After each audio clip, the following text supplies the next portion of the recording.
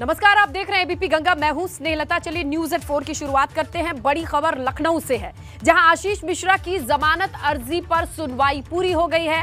अब कोर्ट ने जमानत पर फैसला है, सुरक्षित रख लिया है। लखीमपुर कांड का मुख्य आरोपी आशीष मिश्रा। केंद्रीय गृह राज्य मंत्री अजय मिश्र टेनी का बेटा आशीष मिश्रा, जहाँ हाईकोर्ट की लखनऊ बेंच में जमानत पर सुनवाई पूरी हो चुकी है। लेकिन इसका फैसला जो है, वो कोर्ट ने सुरक्षित रख लिया है। तो ये अहम दिन है, जहाँ जमानत की अर्जी पर सुनवाई पूरी हो चुकी है और कोर्ट ने फैसले को सुरक्षित रख लिया और माना जा रहा है कि दो तीन दिन के भीतर फैसला सुनाया जा सकता है। तो लखीमपुर खीरी कांड का मुख्य आरोपी आशीष मिश्र, इरादतन हत्या का आरोप और कई धाराओं में आरोप और अब जब जमानत की अर्जी दी गई है तो इस पर सुनवाई आज पूरी हो चुकी है। हाई कोर्ट की लखनऊ बेंच ने जमानत पर सुनवाई पूरी कर ली है, फैसला सुरक्षित रख लिया है और माना जा रहा है कि दो से तीन दिन के भीतर फैसला सुनाया जा सकता है।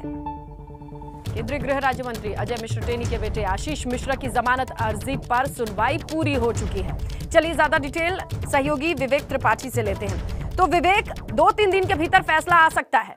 कब तक कितनी देर चले चली ये पूरी सुनवाई की प्रक्रिया? क्या क्या पता चल रहा है?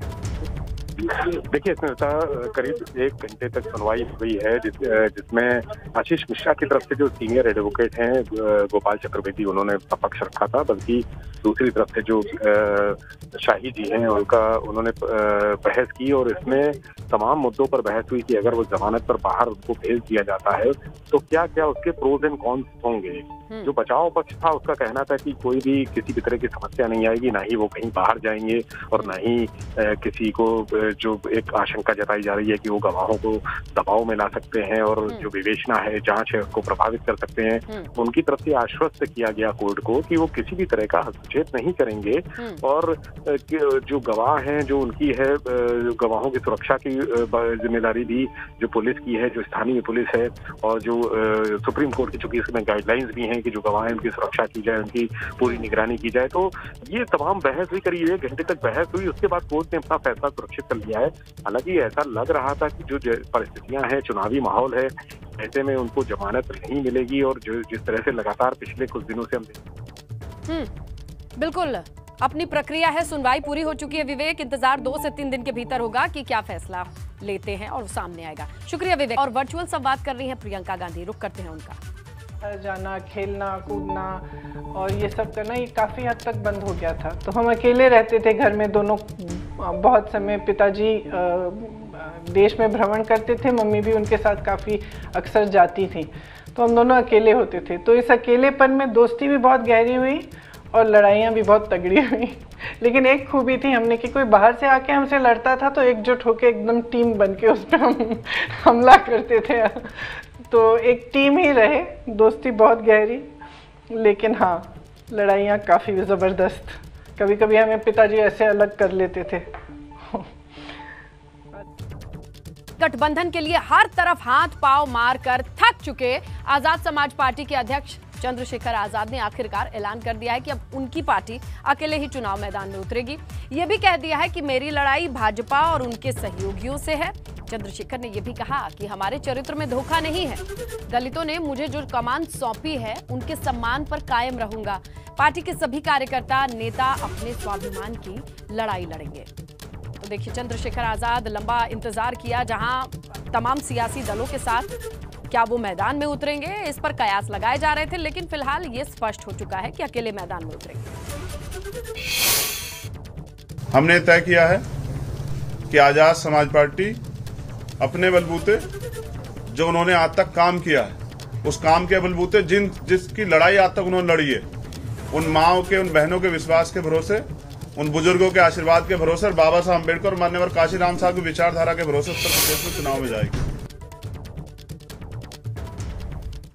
तो चंद्रशेखर आज़ाद ने यह भी कहा कि हमारी लड़ाई भाजपा और उनके सहयोगियों से है। कहा कि चरित्र में धोखा नहीं है, दलित, दलितों ने जो विश्वास जताया है और जो स्वाभिमान दिखाया है, मैं उसके साथ रहूँगा, उस पर कायम रहूँगा। जब मान्यवर काशीराम जी ने मुलायम सिंह जी को मुख्यमंत्री बनाया तो धोखा किसने दिया? क्या आप मुझे बता देंगे? तो हमारे चरित्र में धोखा नहीं है, हमने धोखा ना दिया, ना देंगे। और मैं फिर कह रहा हूँ, उनसे मेरी लड़ाई नहीं, मेरी लड़ाई है बीजेपी से, क्योंकि पिछले कुछ दिनों में एक नौजवान हूँ ना तो बहुत सारी बातें दिल पे ले जाता हूँ।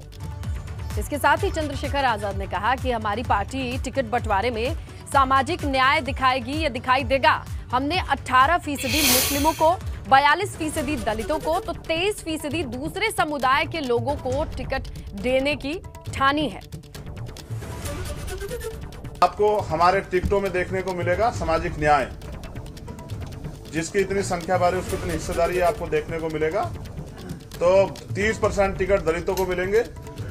जनरल सीट पे भी दलित समाज के लोगों को लड़ाएँगे। दूसरा, उसके बाद 42 परसेंट, बयालीस से 45 परसेंट जो पिछड़े वर्ग के लोग हैं, उनको टिकट दिए जाएँगे, जिसमें हिंदू धर्म के पिछड़े वर्ग के भी लोग हैं और मुस्लिम धर्म के पिछड़े वर्ग के भी लोग हैं। उसके बाद पाँच परसेंट हम लोग एसटी के लोगों को भी टिकट देंगे और बाकी जो टिकट है, वो हमारा जो अन्य धार्मिक अल्पसंख्यक है, मुस्लिम, सिख, बौद्ध, जैन, पारसी 18 परसेंट मुस्लिमों को और बाकी सबको मिला के तेईस परसेंट टिकट हम लोग देने का काम। इसी बीच बड़ी खबर मिल रही है शाहजहांपुर से, जहाँ छह विधानसभा सीट पर सपा ने प्रत्याशी घोषित कर दिए हैं। नगर विधानसभा से तनवीर खान को सपा का टिकट मिला है। कटरा विधानसभा से सपा के राजेश यादव प्रत्याशी हैं। तिलहर से रोशन लाल वर्मा को सपा का टिकट मिल चुका है। पुआया विधानसभा से उपेंद्र पाल को टिकट सुनिश्चित। जलालाबाद विधानसभा से नीरज मौर्य को भी सपा की ओर से टिकट मिल चुका है। तो देखिए, ये बड़ी जानकारी, बड़ी अपडेट शाहजहांपुर से। सपा की ओर से प्रत्याशियों के नाम घोषित हो चुके हैं। छह विधानसभा सीटों पर ये नाम सामने आ चुके हैं, जहाँ नगर विधानसभा सीट से तनवीर खान को ये मौका मिला है कि सपा के सिंबल पर वो लड़ाई में उतरेंगे। कटरा विधानसभा सीट की जब आप बात करते हैं तो सपा के राजेश यादव प्रत्याशी बनाए गए हैं। तिलहर विधानसभा से रोशन लाल वर्मा पर भरोसा जताया गया है। पुआया विधानसभा क्षेत्र से उपेंद्र पाल को टिकट मिला है, जबकि जलालाबाद विधानसभा से नीरज मौर्य को। अब चलिए कौशलेंद्र, हमारे सहयोगी हैं, उनसे जानते हैं कि क्या कुछ देख करके ये टिकट बांटा गया है, उम्मीद के मुताबिक है, या फिर फिर कुछ और भी तस्वीर होगी? इन सब लोगों को उम्मीद जो थी सबसे ज़्यादा जलालाबाद विधानसभा क्षेत्र से जो नीरज मौर्य आए हैं, भाजपा को छोड़ के समाजवादी पार्टी को जिन्होंने ज्वाइन किया है स्वामी प्रसाद मौर्य के साथ में। और दूसरा टिकट किलहर विधानसभा क्षेत्र से रोशनलाल वर्मा का, जिन्होंने स्वामी प्रसाद मौर्य पर भरोसा जताते हुए समाजवादी पार्टी का दामन थमा था। इन दोनों लोगों को टिकट को लेकर बहुत प्रयास की जा रही थी। और इन दोनों लोगों को टिकट लगभग तय है। और इन लोगों की स्थिति भी वहाँ पर अगर कही जाए तो मज़बूत स्थिति में इसके अगर हम बात करें तो कटरा विधानसभा क्षेत्र से राजेश यादव का जो टिकट पास विधायक रह चुके हैं वो पहले से विधायक थे और चूँकि भी बताए जाते हैं अखिलेश यादव के उनका टिकट पहले से ही तय था। और समाजवादी पार्टी के जिला अध्यक्ष तनवीर खां जो कि नगर विधानसभा क्षेत्र से जिनको टिकट मिला है तो ये भी बहुत ही महत्वपूर्ण फैसला है क्योंकि यहाँ पर भाजपा से सुरेश कुमार खन्ना जो कैबिनेट मंत्री हैं लगातार सात बार विधायक हैं और आठवीं बार चुनाव लड़ने जा रहे हैं। तो ये एक बहुत बड़ा फैसला है अखिलेश का।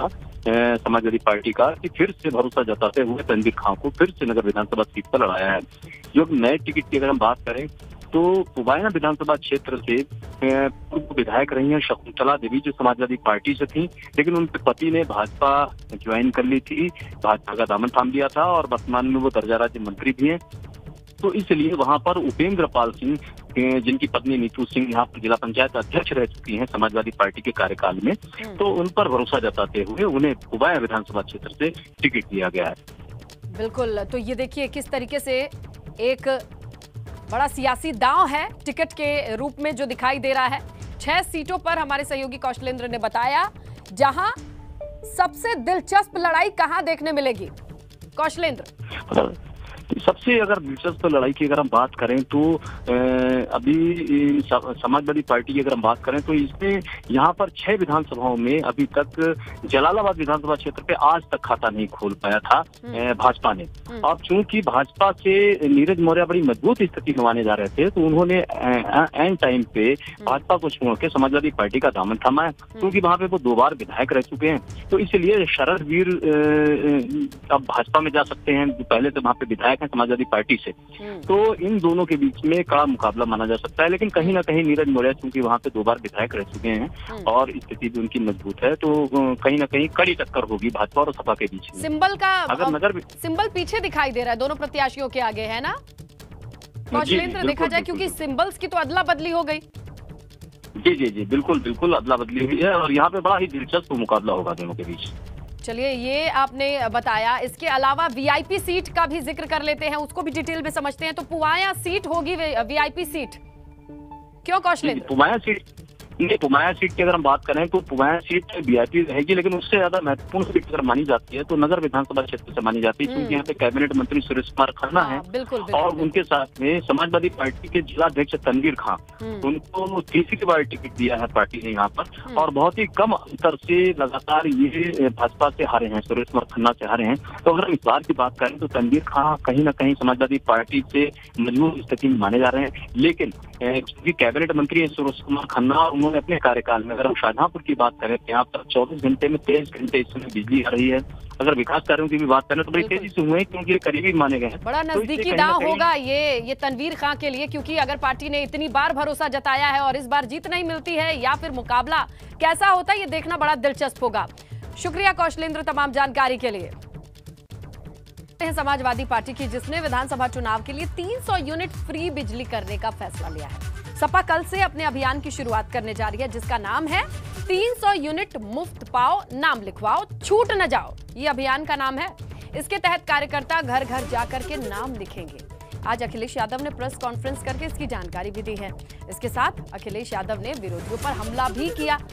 कहते हैं कि अब्दुल्ला आज़म को फंसाने में कांग्रेस और बीजेपी दोनों का हाथ है, और ऐसा उन्होंने आरोप लगाया। इसके अलावा उन्होंने नाहिद हसन और कृष्णा पटेल की भी चर्चा की।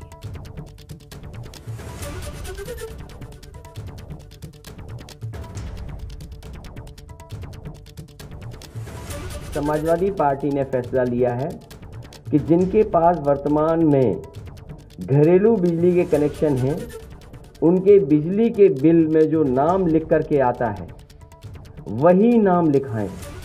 ये अभियान समाजवादी पार्टी का कल से शुरू होने जा रहा है।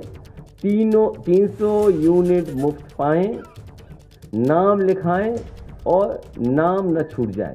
मैंने आपसे कहा कि जिस समय भारतीय जनता पार्टी का मैनिफेस्टो आएगा, उसके बाद समाजवादी पार्टी का मैनिफेस्टो लाएँगे। और बहुत सारे सुझाव हमें समय समय पर मिले हैं।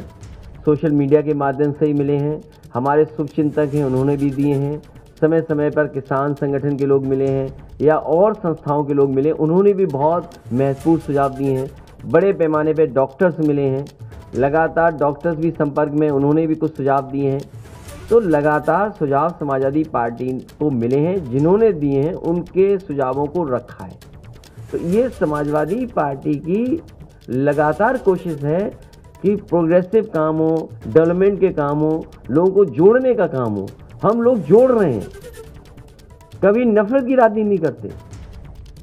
कभी किसी बात को लेकर किसी से नहीं जोड़ते। भारतीय जनता पार्टी के देखिए हमारे मुख्यमंत्री जी कहते हैं, जीन्स इनके ऐसे हैं। याद है या नहीं याद है? अभी कुछ दिन पहले मुख्यमंत्री जी ने कहा कि हमारे जीन्स ऐसे हैं। तो मैं तो चाहूँगा कि मुख्यमंत्री जी, हमारा, आपका दोनों का सैंपल ले लो, जीन्स चेक कर लो किसके कैसे हैं। हमारा भी सैंपल भेज दो डॉक्टर, हम भी दे रहे हैं, अपना भी सैंपल दे दो। तो ये प्रोग्रेसिव है कि हम जीन्स पे बात नहीं करते हैं। शामली से बड़ी खबर है, नाहिद हसन की जमानत याचिका खारिज हो गई है। गैंगस्टर की सुनवाई में शनिवार को गिरफ्तारी हुई थी। शामली से समाजवादी पार्टी ने इन्हें टिकट दिया था। लेकिन अब देखिए, जमानत मिलनी मुश्किल है, क्योंकि याचिका खारिज हो चुकी है। गैंगस्टर की कार्रवाई में शनिवार को गिरफ्तारी हुई थी।